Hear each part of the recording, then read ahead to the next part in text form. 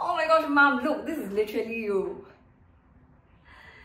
Huh? Don't know like me what? Oh no, it's just a meme about how you sometimes ask me for help with. Why? Why cannot ask you for help? I'm your mother, okay? I helped to raise you your whole life.